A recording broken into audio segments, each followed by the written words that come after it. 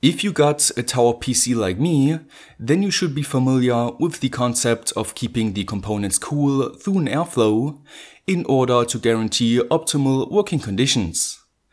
But if you overclock your components and stress test them, then the temperatures will climb up quite a bit. For overclocking enthusiasts, that means it is time to crack open a new bottle of canola oil, fill up a container with it, and completely submerge all heat producing components in it. Now, of course, I'm half joking here, because true overclocking enthusiasts would do oil cooling more professional. But nevertheless does oil feature some interesting properties when it comes to interacting with voltage potentials and of course electronics. So, just like in a previous video, in which I had a closer look at how tap water and distilled water collude with electronics, I will perform a couple of experiments in this video to find out whether oil and electronics are actually best buds. Let's get started.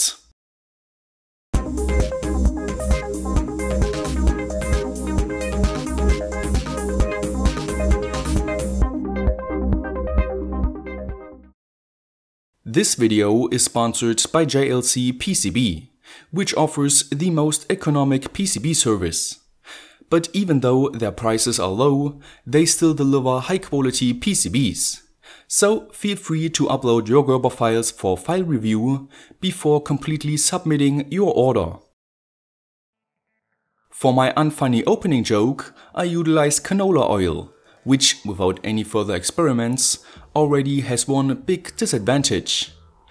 After using it for a longer time, it starts to get rancid, which means it stinks, besides a couple of other negative side effects.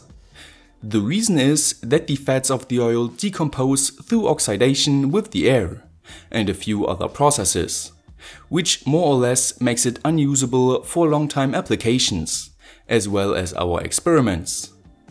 But thankfully though, there exist more specialized types of oil, like this Transformatorenöl, which basically translates out to transformer oil.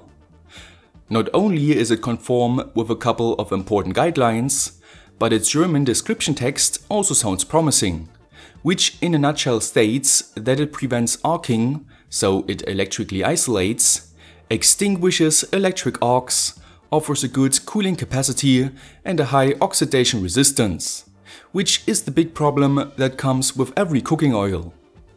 Now I cannot properly test the extinguishing of electric arcs, but the other two properties we can certainly test.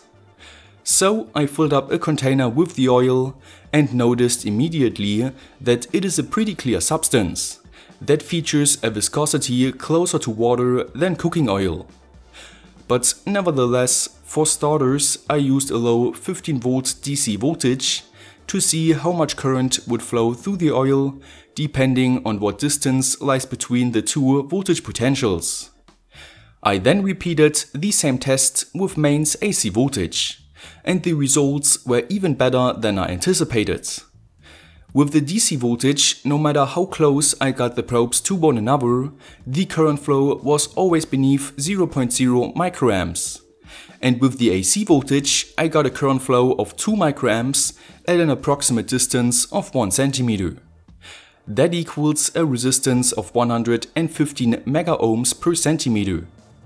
As a comparison, I previously measured a resistance of 300 ohm per centimeter for tap water and a resistance of 30 kilo ohm per centimeter for impure distilled water.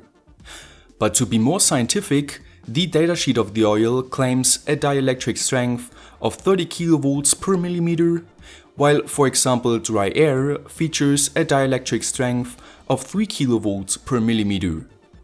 So while my arc lighter here only requires around 15 kilovolts to jump its 5mm gap in air, it would require around 150 kilovolts to create the same arc in oil.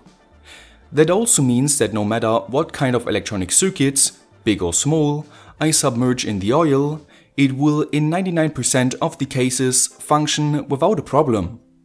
You could even program a microcontroller in it.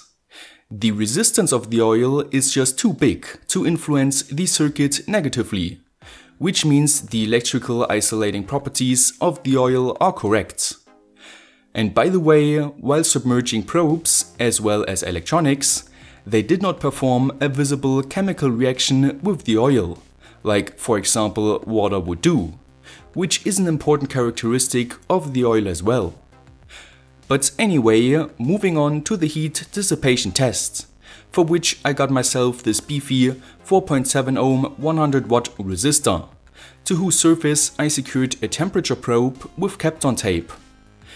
During the experiments, I will dissipate a constant power of around 25 watts through the resistor, which will obviously heat it up. I will compare what kind of surrounding material, which includes air, distilled water and obviously our transformer oil, will keep the resistor the coolest during a time period of 10 minutes. So I started the experiment with oil and the resistor at a starting temperature of 23 degrees Celsius, which I tried to keep constant for the other materials.